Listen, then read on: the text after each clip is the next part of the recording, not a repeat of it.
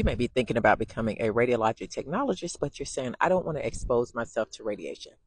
Well, let me tell you, as a radiologic technologist of over 22 years, I am not exposed to radiation because I don't put myself in those situations. What situations you could be asking, am I talking about?